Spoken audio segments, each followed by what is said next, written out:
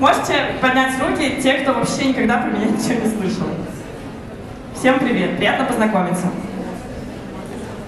Здесь э, просто сделала слайд, чтобы познакомиться с вами и сказать, э, кто я такая. Это мое первое выступление на тему феминизма, поэтому можете поздравить меня с начала. Сегодня я затрону такую тему, как э, стандарты красоты для женщин. В зале, в котором я тренировалась почти полтора года, на раздевалках висят вот такие таблички. На женской раздевалке написано «красивая», на мужской раздевалке написано «сильная». Поднимите руки те, кто считает, что с этим что-то не так. Класс! Значит, э, мы с вами на одной волне. Но тем не менее, когда я готовилась к этому выступлению, я не знала, какого уровня люди придут, насколько они осведомлены в повестке феминизма, поэтому буду рассказывать какие-то вещи, возможно, которые покажутся для вас очевидными. Но не судите строго, это важно. Куда надо нажимать, чтобы листалось? Да, что, в принципе, не так с этой системой. Начну издалека. А, есть такое понятие в феминизме, как смена работы. Наверное, вы о нем слышали. Первой сменой в случае с женщинами традиционно понимается обычная оплачиваемая работа. Когда мы ходим на работу, получаем за нее зарплату, в общем, обычная ситуация. А, после первой смены у среднестатистической женщины наступает вторая смена, которая уже начинает отличаться от мужской. Поскольку по статистике а, женщины, даже работающие наравне с мужчинами, о чем будет мой следующий слайд, проводят а, в бытовых делах в неоплачиваемой работе гораздо больше времени. Например, э, в 2016 году провели исследование и выяснили, что у женщин накапывает 23 года неоплачиваемой работы. Что это имеется в виду? Это приготовление пищи, репродуктивный труд, воспитание детей, уборка и так далее. В общем, все вещи, которые требуют усилий, но которые не оплачиваются. И, в принципе, у нас в обществе считаются чем-то незначимым и как бы, ну, что тут такого-то? 23 года. Мне 25. А, также по исследованиям примерно в два раза больше женщин тратят на бытовые какие-то задачи, даже несмотря на то, что работают они наравне с мужчинами. Я вывела информацию на слайде. А, рабочее среднее время у женщин и мужчин в Российской Федерации оплачиваемая работа составляет примерно 5,5 часов, там с разницей в 10 минут. И это в крупных городах, в Москве. А в регионах э, разница чуть-чуть побольше, ну то есть женщины поменьше работают оплачиваемо, но это как бы не нивелирует ту разницу в бытовом обслуживании. То есть ситуация как бы несправедливая. Про вторую смену, в принципе, все знают. Но после второй смены женщины вступают в третью смену. Насчет этого еще какой-то единой точки зрения нет, но в целом под третьей сменой э, считается эмоциональное обслуживание других людей и уход за собой, в том числе какие-то действия, которые направлены на изменение собственной внешности. Я нашла такие цифры. Я специально решила поискать. Кстати, я выложила этот слайд в Инстаграм, и у меня в директе просто начался взрыв. Потому что все подумали, что я пытаюсь запретить женщинам покупать косметику. В общем, в чем суть? Женщины тратят на покупку косметики до, в среднем до 12% от своего личного дохода, в то время как мужчины тратят до 1%. При этом хочу заметить, что женщины в среднем получают меньшую оплату за свой труд. Но об этом я еще поговорю. Также есть очень интересное исследование о том, что э, большее количество повышений и большее количество повышений зарплаты получали женщины, которые больше времени тратили на макияж, на маникюр и на другие бьюти-практики. При том, что мужчин эта тенденция не касалась. То есть у них не было такой зависимости повышений от каких-то вложений в свою внешность. И, как я уже сказала, по данным Росстата, средняя разница зарплат у мужчин и женщин примерно 30%, и это даже на равных должностях. То, во что упорно не верил товарищ Никонов сегодня в начале дня, к сожалению, это реальность. Соответственно, быть женщиной в стране, очевидно, экономически невыгодно.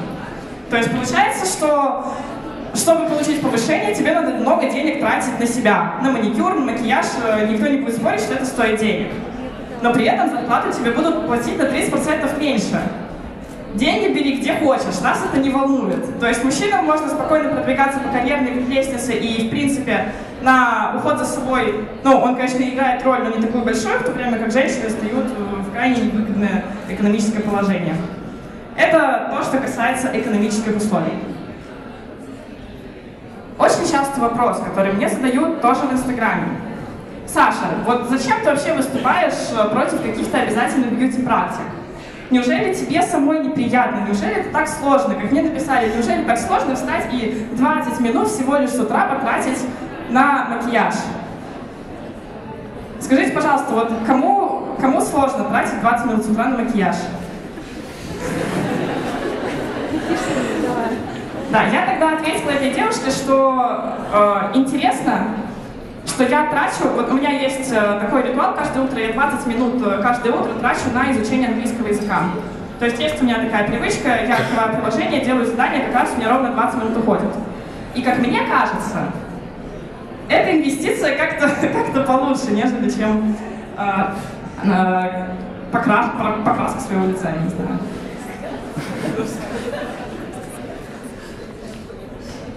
Есть еще такая проблема, что в нашей патриархальной культуре молодость и красота для женщин – это очень ценный ресурс.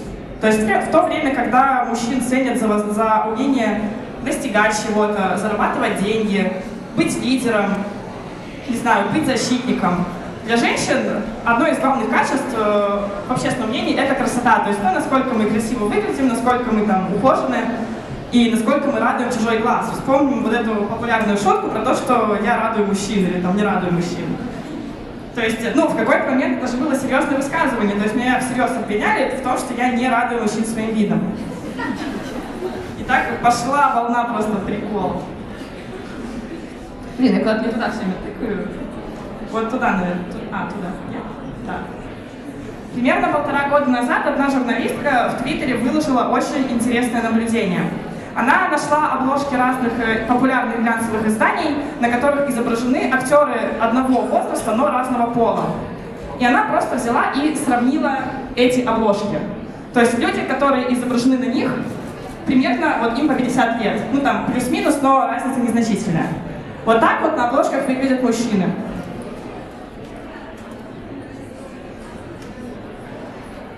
Вот так вот на обложках выглядят женщины.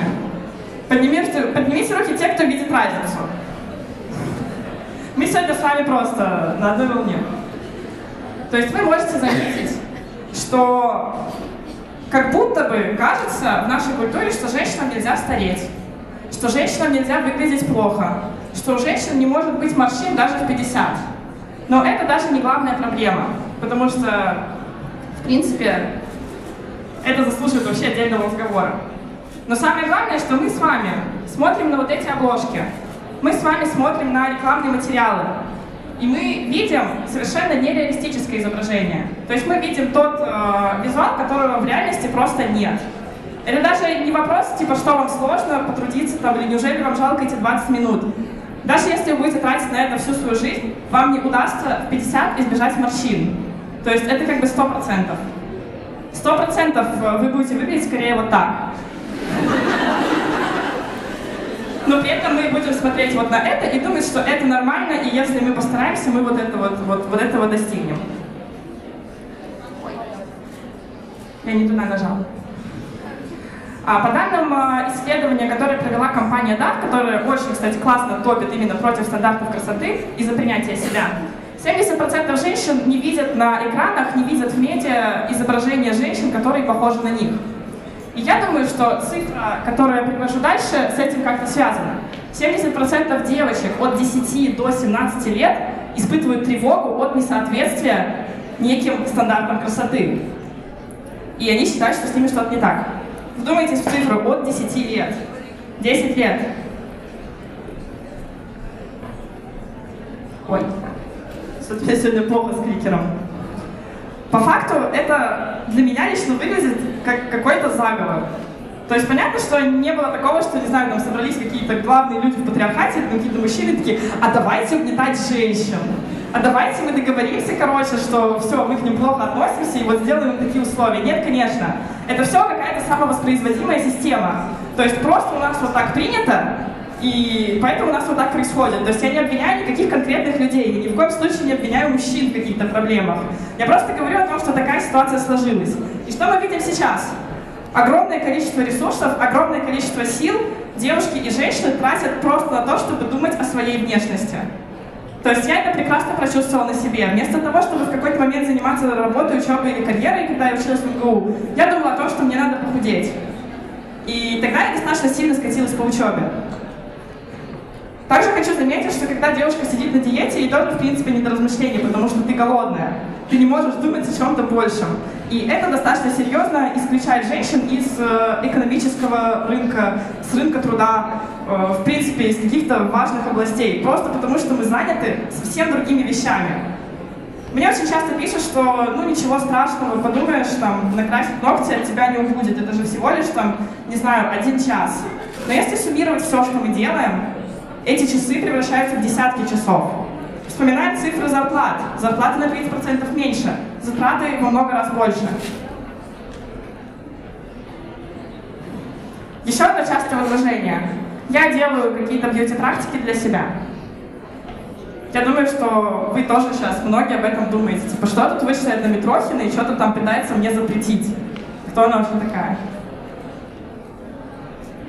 Дам вам просто несколько упражнений для размышлений. Первое упражнение — это попробовать перечислить про себя или там записать все, что вы делаете со своей внешностью, ну или там какие-то основные ваши практики.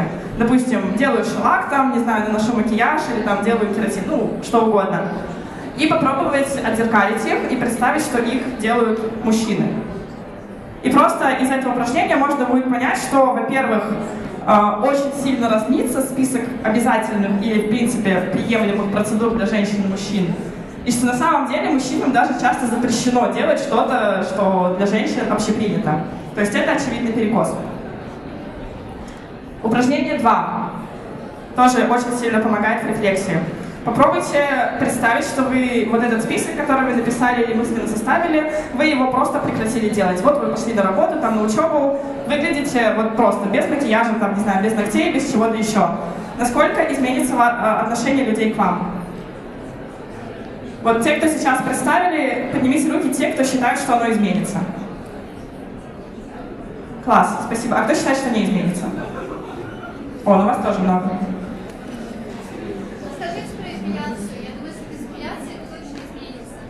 Ну, кстати, да, вот если... Представьте, что вы подмышки и ноги не бреете, и вот приходите в юбке.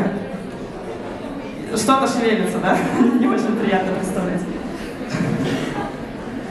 И здесь мы приходим к вопросу, а что вообще такое свободный выбор? Возможно ли он в данной ситуации? То есть, возможно ли вообще какое-то свободное принятие решения с опорой исключительно на собственные потребности и желания? Свободный выбор — это такой выбор, в котором какое бы вы решение ни приняли, никаких санкций к вам не последует. То есть, что бы вы ни решили, все будет окей, и типа, это ваш выбор. Но такое, как вы понимаете, в обществе практически невозможно. И тут мы приходим к такому понятию, как адаптивный выбор. Этот термин очень часто используется в феминизме, и мне кажется, очень важно его здесь сказать. Это выбор в пользу социально ожидаемых действий. То есть, я, допустим, очень долгое время э, делала эпиляцию просто потому, что понимала, но меня достанут реально. Года два назад я случайно выложила там какую-то щетину на подмышке, то есть просто случайно попала в сторис. Там даже не было на этом никакого акцента, там была в углу такая маленькая щетиночка. Я получила в районе тысячи сообщений, кучу обвинений в том, что я там, не знаю, не, не гигиеничная, там, не знаю, не радую мужчин, и вообще как мне не стыдно, это вообще отвратительно. Были оскорбления. И, конечно же, во многих случаях гораздо легче чему-то следовать, просто чтобы чувствовать себя спокойно. И это вполне окей. То есть не стоит думать, что там адаптивный выбор это такое говно, и вообще не стоит его делать. Нет. А, всегда очень сложно понять, на самом деле, какое наше решение свободное, какое нет.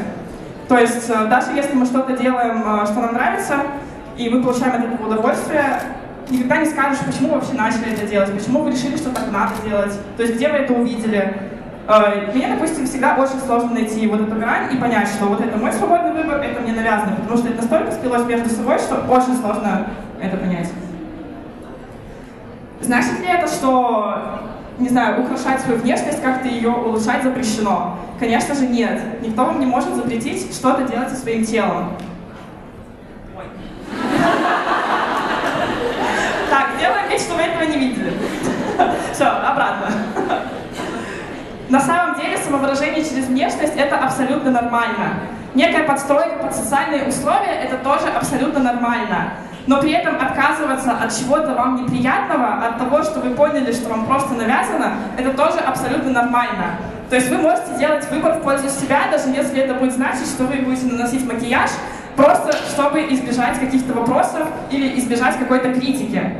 И это все абсолютно окей. То есть никто не вправе вам запретить краситься или заставить краситься. В конечном счете, вся моя основная мысль, которую я всегда веду и в этом выступлении, и в своем блоге, это не в том, чтобы взять и перестать что-либо с собой делать, а скорее в том, чтобы проанализировать, что вы делаете, почему вы делаете, и насколько это действительно ваш выбор, и насколько вы действительно хотите ему следовать. И вот теперь